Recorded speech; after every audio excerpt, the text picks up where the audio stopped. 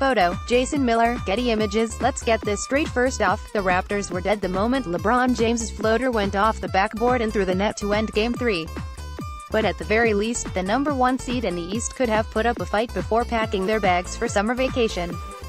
Instead, Toronto laid down and accepted defeat in Game 4 tonight, shooting 26.7% from three and playing what could only loosely be described as defense, as the Cavs completed the second-round sweep with a 128-93 win. LeBron himself, at least in the first half, even seemed content to play this game as just an impeccable sideman, letting his teammates take most of the shots while he just served up assists.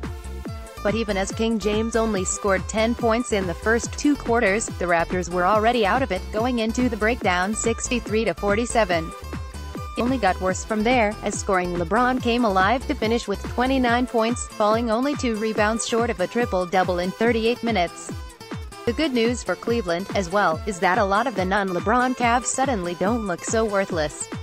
J.R. Smith bounced back from a scoreless Game 3 with 15 points on perfect shooting.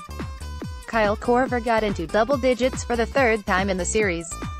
George Hill is a reliably efficient scorer after missing three games in the first round. And Kevin Love, who picked up 23 tonight, is playing to his full potential as a secondary star. But whomever the Cavs meet in the conference finals will be infinitely more motivated than the Raptors were with their backs against the wall, and this is the type of loss that should initiate some serious self-evaluation in Toronto. For as well as they've played in the regular season, the Lowry, DeRozan era of the Raptors has yet to prove they can be contenders. And while there's nothing shameful in losing to LeBron on a regular basis, the lack of competitiveness in this particular series is especially disappointing after the team set a new franchise record for wins in the regular season. Worse than the actual final result, though, is the fact that they didn't even seem to care.